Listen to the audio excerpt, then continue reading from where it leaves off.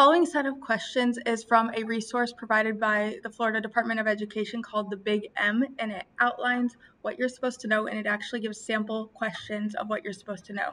So I'm going to be working through those questions. This will be a multi-part series. Um, there'll be seven different videos with different sample questions of anywhere from 10 to 15 questions per video. Um, and we'll start from the beginning. Here we go. Okay, so the following set of questions is actually from a resource provided by the Florida Department of Education called the Big M, and it has sample questions of what you're supposed to know for testing in terms of like the standards. So um, this will be a multi-part series. There'll actually be seven videos with about 10 to 15 questions per video. And I'll just start here. These are the standards that are covered in this video, and then the other videos will have um, different standards that are covered. So the first sample question right here, it says use rectangle ABCD to fill in the blanks. In rectangles, opposite sides are congruent,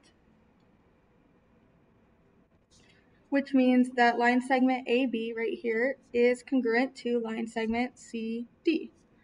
Triangles ABC and CDA, so ABC would be this triangle and CDA would be this one, can be proven congruent by hypotenuse leg because line segment AC is a shared side, and that's the hypotenuse of both. So line segment AC is a hypotenuse of both triangles. Okay, next question. Which of the following sets of triangles can be proven as congruent based on the information? Choose all that apply. So in this case, I'm going to go through each answer choice and determine whether those triangles are congruent. So A, D, E and ACD. I can see right away those two triangles are not congruent, so this is not an answer. ABC and ACD, again, I can see that this triangle and this triangle not congruent. ADE and ACB. Yes, those two triangles are congruent, so that is a correct answer. And the next one are a little bit tricky because these triangles aren't drawn. So CEA, which would be right here, this triangle here, is congruent to ACD. ACD. Yes, this triangle would be congruent to this one, even though it's not drawn. So that is a correct answer as well. Let me erase my marks to have a clean slate again. And then it says triangle BDE. So that would be right here, this triangle. Is it equal to ACD? Yes, it is. So I can choose that one as well. So even though the triangle wasn't drawn, it is still um, a triangle congruent to the other one. Okay, for this one, it said what is the value of x, what value of x will make m the midpoint of PQ?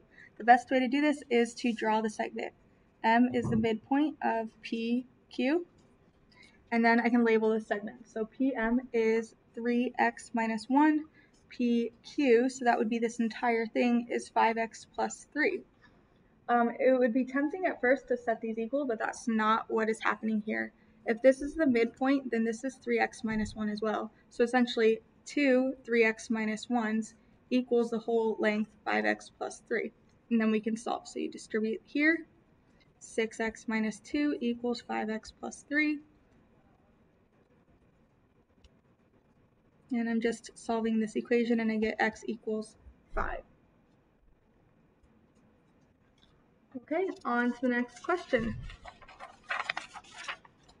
Okay, here is another situation where we're going to have to sketch it out to see what's going on. It says two lines intersect at point P. So I'm going to have two lines that intersect at point P, okay? If the measure of a pair of vertical angles are here, determine x and the measure of the other two angles. So these are vertical angles, so I'll put this here, making them vertical angles. And first step is to find x. So I'm going to find x by setting these equal to solve for x since vertical angles are equal.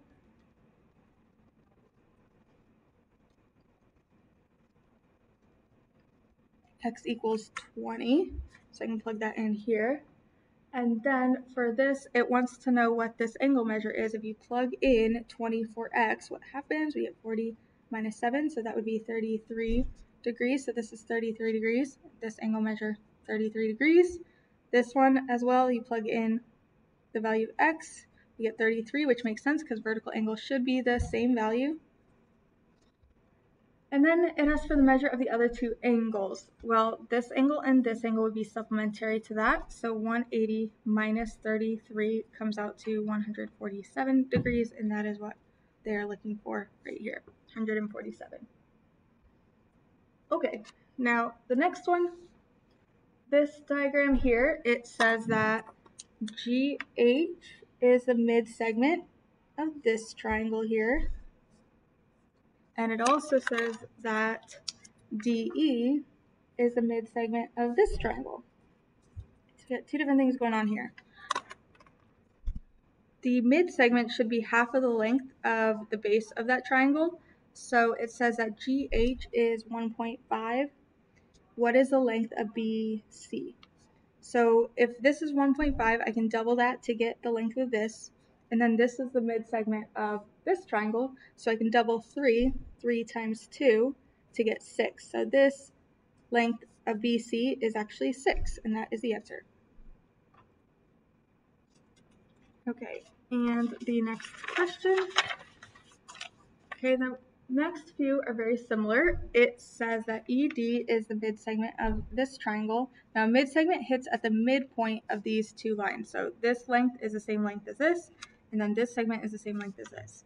So it hits at the mid-segment of triangle ABC. It says AD is 12, EC is 10. What is the length of DC? Well, DC must be 12, so I'll put that here. What is the length of BE? Well, these two segments are the same length, so this must be 10. Okay, the next one is very similar to that. Again, it tells us that EC is a mid-segment. Okay, that means it hits at the midpoint of each of these segments of the triangle. It says CD is 8, FE is 10. What is the length of ED? Well, it would have to be 10. And then what is the length of BC here? It would be 8 because these two are the same length.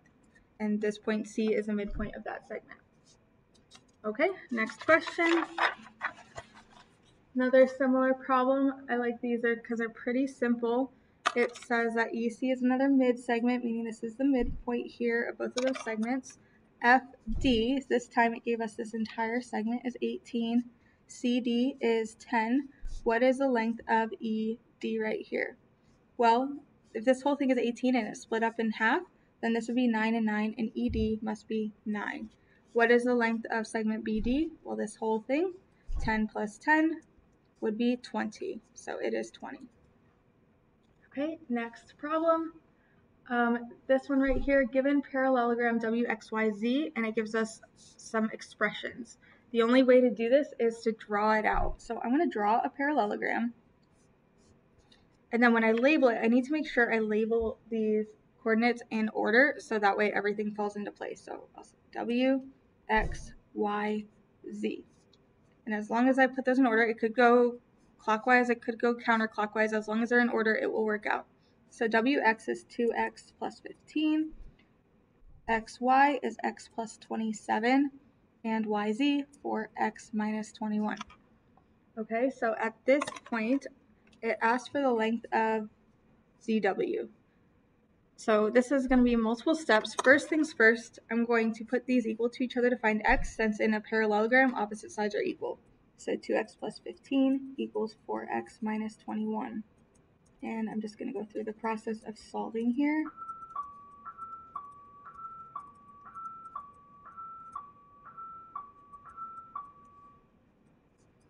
We get x equals 18. So x equals 18, um, but it doesn't ask for x, it asks for the length of zw.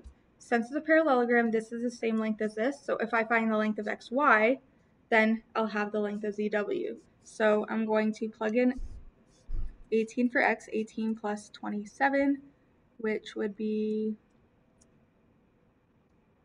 45. So that means this must be 45. So the length of ZW is 45. Next question. Looks like we have one more. Actually, this one is the same scenario, the same numbers and everything as the last one. So it asks for x, which we found here. x is 18. The length of xy, let's see, xy would be x plus 27. 18 plus 27 would be 45. And then the length of WX. WX right here is 2x. Oh, sorry, I didn't realize. WX right here is 2x plus 15. So 2x plus 15 WX. So we can plug in 18 and find this length. 36 plus 15.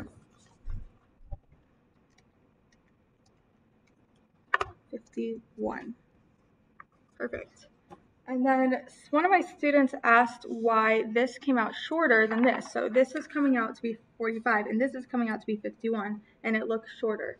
That's because when I labeled these points, um, it wasn't based on any more information than a parallelogram. So technically, now that I know the numbers, it should be drawn maybe more like this. Like this is a shorter side and this is a longer side. But as long as you label the points in order, it doesn't matter. The numbers will come out right. It's just the scale of your drawing isn't correct. So that is why that happened. Okay, so that is all for this video. There are going to be six more of these. Um, so I will have those linked down below if you'd like more of this content.